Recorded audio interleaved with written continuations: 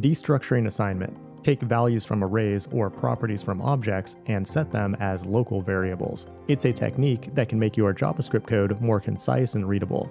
Imagine you have an array and you want to assign some of its values to local variables. One option is to assign each variable by referencing its index in the array. That works fine, but it's not very elegant. With destructuring, we can do the same thing with a single line of code. By using brackets after const, we can assign a variable name to each index in the array. The position of the variable name matches the value's index in the array. The syntax may look familiar to you if you've ever used React, which relies on destructuring for the use state hook. When working with arrays, you may want to omit a variable, which you can do by adding a comma without a variable name to skip that index. In other cases, you might want to name the first couple variables, then put the remainder in their own array. That can be achieved by putting three dots in front of the variable name. You might also want to set a default value in case the value in the array is undefined. Use the equal sign to provide the fallback value. In addition to arrays, destructuring also applies to objects. Notice how we're duplicating the object's property name as a variable with dot notation.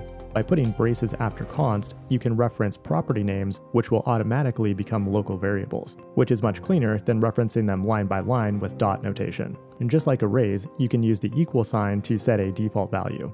But in some cases, you may want to use a different name than what's provided on the object itself. Adding a colon after the property name allows you to rename it, which is especially useful when dealing with name collisions, or when working with objects that use property names that are not valid variable names. In addition to renaming, you can also use a colon to access nested properties, or in other words, set a variable from an object within an object.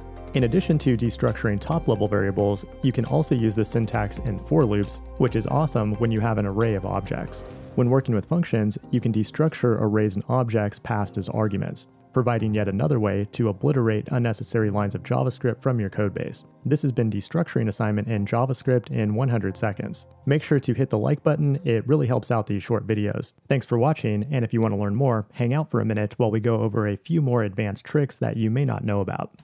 One thing that array destructuring enables is variable swapping without the need for an intermediate variable. It doesn't come up often in JavaScript, but it is a useful thing to know for computer science in general.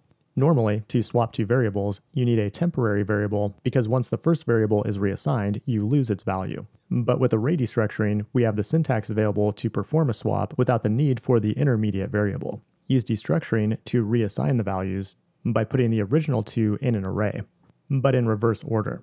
You'll probably almost never do that, but you might be able to use it to impress someone on a technical interview someday. The other thing I wanted to show you is that destructuring can also be used with regular expressions. When you run the match function on a string, it returns an array of results. You can then easily provide descriptive variable names for the regular expression matches. That's cool, but I have one last thing to mention. Imagine you want to destructure an object, but you don't know the property name until runtime. You can use computed properties in destructuring just like you can with object literals. By wrapping a property name in brackets, it now takes a variable as its value instead of a static name. In other words, it's computed at runtime, which you can then follow with a colon to provide it with a static variable name to use in your code. And that's pretty much everything I know about destructuring.